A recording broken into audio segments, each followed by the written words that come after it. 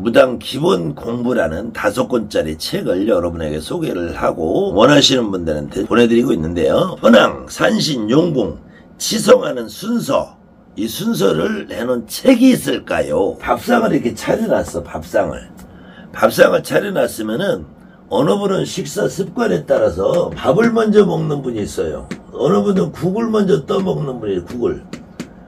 어떤 분은 어떤 분은 물을 먼저 마시고 먹는 분이 어떤 분은 반찬을 먼저 먹는 분이 있어요. 근데 대부분의 사람들은 그래도 예, 밥상을 차려면 밥을 먼저 먹겠죠. 근데 거꾸로 여러분들 식당에 가서 갈비집에 가서 고기를 구워 먹는다 불판에다가 고기를 구워 먹으면은 대부분 이 고기를 구우면은 고기 먼저 먹어요. 고기 먼저. 고기 먼저 먹고 그 뒤에 후식으로 예, 밥을 먹든지 냉면을 먹든지 냉면을 먹든지 또 다른 다른 걸 먹든지 아니면은 아우 나는 고기 먹었으니까 밥이고 냉면이고 싫어 이런 분들도 있단 말이에요. 그러면은 이 식당에 가서 식당에 가서 내가 고기를 먼저 먹는 것이 맞냐? 식당에 가서도 나는 식당에 가서 나는 야, 나는 밥을 먹어야지 고기는 밥하고 같이 먹어야지 안 그러면은 어, 나는 니기에서 못 먹어.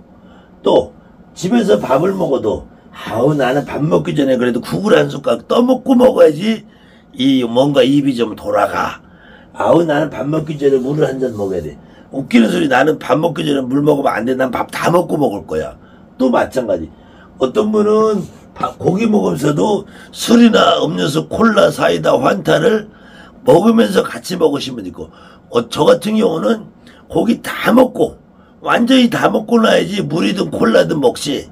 그리고 고기를 먼저 먹어야지 밥을 먹어요. 다 각각 다르단 말이에요. 각각 다른데, 어쨌든, 어떤 방식으로 해도 내가 밥을 먹느냐, 반찬을 먹느냐, 고기를 먹느냐, 고기 먼저 먹고 밥을 먼저 내가 구워 먹느냐, 배만 부르면 된단 말이에요. 배만 불. 그거는 이 사람이 이렇게 하고 저 사람이 저렇게 하고 이 사람이 저렇게 해도 그거는 그 사람만의 방식이야. 나는 내 방식을 가져라. 내 방식을. 그리고 선왕에 가서 산신에 가서 용궁에 가서 어떤 경우에는 내 신당에서 이렇게 해도 도대체 왜 선왕 가서 풀까? 왜? 선왕 가서 왜 풀어요? 내가 해보니까 신당에서 해도 아무 상관없어. 산신에서 왜 해? 신당에서 해도 되더라고. 용시구 용궁에서 왜 해? 내 신당에서 아무 이상 없어요. 아무 이상 없는데 다만 내 신당이라는 곳이 주변에 주변에 소음 피해 주변의 이웃들의 피해를 주기 만한 그런 소리를 낼 만한 공간이 없다면 할 수 없이 내가 용궁을 가든지 산신을 가든지 선왕을 가든지 하는 것 뿐이야. 도대체 어떤 일을 선왕에 가서 풀어야 된다고 생각을 해요. 어떤 일을 산신에 가서 풀어. 어떤 일을 용궁에 가서 풀어. 물론 경상도 선생님들은 요항 맥인다. 산재 지낸다. 목신 났으니까 선왕 풀어라. 이렇게 말씀하시는 분들인데 이거는 큰 의미가 없다고 봐요. 제가 여러 사람을 다 시켜봤는데 내가 오늘 식당에 가서 고깃집에 가서 먹을 거냐 내가 오늘 분식집에 가서 먹을 거냐 내가 오늘 라면을 먹을 거냐 내가 오늘 한식집에 가서 먹을 거냐 짜장면을 먹을 거냐 내가 선택하는 거야 내가. 오늘 짜장면이 먹고 싶으면은 짜장면 집에 가면 돼. 내가 분식집에 가서 라면 먹으면 돼. 근데 분식도 라면도 짜장면도 집에서 해 먹을 수 있단 말이에요 어떤 때는 집에서 해 먹으려면은 번거롭고 귀찮고 설거지 해야 되고 일거리 많아요 내 신당에서 하면은 내 신당에서 하면은 비용은 좀 줄어들어 그런데 일거리가 많아. 그러신 분들은 산신을 가든 용궁을 가든 선왕을 가든 갈 수 있어요. 근데 이거는 또 왔다 갔다 경비 들어가. 거기 가면 또 굿당이 됐든 뭐가 됐든 요즘 비용 들어가요.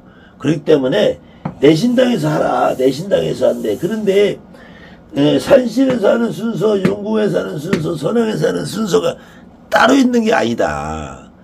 따로 있는 게 아니에요. 물론 양식집에 가면은 포크를 먼저 쓸지 나이프를 쓸지 그렇게 만들어 놓은 데도 있어요. 그건 서양 애들이 만든 거야. 우리는 양식집에 가도 내가 숟갈 먹고 싶고 숟가루 먹고 싶고 내 맘대로 해. 그 절차 격식은 복잡해서 나는 외우지도 못해. 그 상관없어요. 내가 그냥 밥상 차려놓고 먹으면 돼. 떠먹으면 돼. 아, 내가 국을 먼저 먹든 밥을 먼저 먹든 누가 뭐라 그래. 내 배부르면 됐지. 내가 굿땅이라는 데가 살 건지 신당이라 살 건지 요거만 구분합니다. 요거만. 그 다음에 굿땅도 허공에 아무도 없이 하는데 지금은 못해.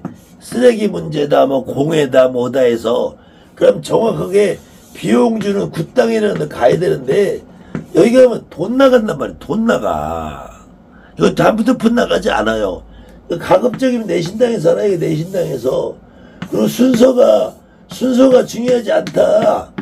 이거 먼저 하면 어떻고 저거 먼저 하면 어때? 밥상 차려놓고 먹어봐라 이거야. 먹어봐라. 여러분들이 순서를 배우기 전에 짜장면을 먹는 순서, 짬뽕을 먹는 순서, 한식을 먹는 순서, 반찬을 먹는지, 국을 먹는지, 밥을 먹는지 먹어봐라 먼저. 먹어보다 보면은 여러분들 스스로 아 나는 체질적으로 국을 먼저 먹어야 아 나는 밥을 먼저 먹어야 나는 고기를 먼저 먹어야 돼. 여러분들의 맞는 취향에 맞는 게 있어요. 뭐 부정풀이를 안 해도 못해도 뒷전풀이 안 해도 상을 내가 차릴 수 있는 만큼 제사상 차리든지 10만원어치인지 30만원어치인지 보기 좋게 그럴듯하게 차리면 돼. 밥을 밥을 여기다 놓으면 어떻고 국을 여기다 놓으면 어때요? 근데 먹다 보면은 나는 밥이 이쪽에 있고 국이 이쪽에 있고 반찬을 여기다 놓고 숟가락 젓가락 여기다 놓고 이렇게 해야지 내가 먹기가 편해. 이런 것이 여러분들 하다 보면 나온다니까. 여러분 하다 보면 나와요. 만약에 선왕에서 하는 일, 산신에서 하는 일, 용국에서 하는 일이 다 다르다고 여러분이 생각하면은 집을 파는 일은 어떻게 할 거야? 집을 사는 일은 어떻게 할 거야? 어떤 순서를 할 거야? 집을 팔 때는 어떻게 하고 집을 살 때는 어떻게 해야 이사를 갈 때는 어떻게 할 거야? 이사를 올 때는 어떻게 할 거야? 애가 합격할 때 어떻게 할 취직할 때는 어떻게 할 거야? 아, 장사가 잘 되면 어떻게 할까? 인간사에 일이 한두 가지냐고요. 애기를 못 낳는 사람 일은 어떻게 순서대로 할 거야? 애기를 낳아서 잘 키우고 싶은 사람 어떻게 할 거야? 남편이 아플 때는 그 남편이 치즈가 마누라가 바람나서 어떻게 할 거야? 딸이 사고 쳐서 어? 어떻게 할 거냐고 어떻게 할 거야? 인간사에 모든 일이 천 가지 만 가지 일이 많은데 어떻게 다 그 순서를 다 따지고 해요? 여러분이 무작정 해보라는 무작정 상 차려 놓고 상 차려 놓고 우두커니 앉아 있어 봐. 여러분이 전볼 때 손님 점 나오듯이 상 차려 놓고 우두커니 앉아 있어 봐요. 5분 안에 뭐라고 씨부리게 돼 있다니까. 5분 안에 어느 조상이 와서 뭐라고 하게 돼 있다니까. 그것조차도 어려운 분은 여러분이 일을 맡으면은 저한테 연락하세요. 제가 상은 어떻게 차리고 음식은 얼만큼 준비하고 경문을 하고 싶으면 하고 하기 싫으면 안 하고 어떻게 해서 그냥 가만히 앉았으면 어떻게 된다는 거 알려드릴게. 산신인, 선왕인, 용왕인 이런 거 따지지 마요. 어디 가서 하면 어때? 내가 비용을 줄이려면 내 신당에서 하는 게 제일이지. 아 여기서 뭐 동포풀이는 못해, 상문 풀이는 못해, 어? 진옥이는 못해, 진지록이 못해. 왜 못해? 왜 못해? 내 신당에서 다 하면 되지. 여러분이 누굴 모시고 있어? 누굴? 어, 여러분이 신을 모시고 있잖아. 신. 이 신은 뭐해? 어디다 두고 엿바꿔 먹어? 이 양반들이 이 양반들이 다 지켜주고 할 텐데 뭐가 걱정이야. 그리고 그 순서 이 선생하고 해봐 저 선생하고 해봐 저 선생 다 틀려요. 어떻게 맞춰? 집팔때 때고 논을 팔때 땅팔때 어떡하고 다 달라. 그러면 여러분들이 그냥 우두커니 아무것도 모르는 채 해봐라. 그리고 경문책? 경문책 뭘 읽으면 어떡할 거야? 여러분이 알기를 해요. 손님이 알기를 해. 어차피 며느리가로 시미 가로 지금 여러분들 5년 10년 된 분도 저 경문이 뭔지 모르신 분들 수두룩해. 아직 5년 10년 대글고신경이 뭔지 못 외우신 분 많아요. 정신경이 뭔지 안택이 뭔지 주거문이 뭔지 모르시는 분은 많아. 어차피 너도 모르고 나도 모르는데 안 되면 국어책이라도 갖다 읽어. 산수책이라도 읽고 영어책이라도 읽어. 그러다 보면 5분 안에 실려. 그럴 바에는 그래도 전통적으로는 안택경이나 조상경이나 아무데나 펴놓고 읽어보라는 거예요.